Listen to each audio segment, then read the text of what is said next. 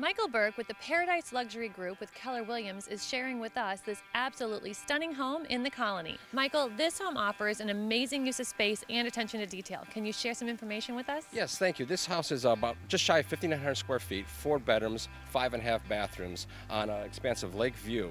We have a great attention to detail in the master, the master suite, the sitting area. Even has an elevator for the uh, guest suites upstairs. All right, some of the great features here of this house is that we have 22 foot uh, coffered ceilings. Uh, we have architectural stone columns that are uh, beautiful as you see.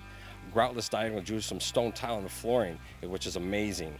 Uh, the pictures windows looking out uh, to the custom open lanai with a lake and golf view. A butler's pantry with a wine cooler and private uh, outdoor seating area.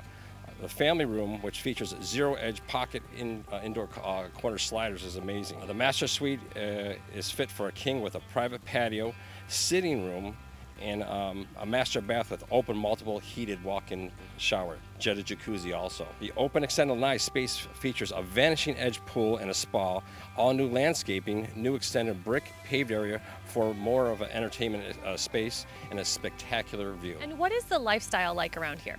Well, lifestyle, it's so convenient being here in the colony, here at Pelican, uh, Pelican Landing.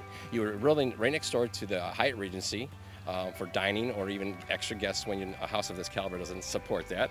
Uh, you're very close to Coconut Point, and as a crow's fly, I think we're only about um, 10 miles to uh, uh Fort Myers uh, Airport. So how can we take a tour of this amazing home?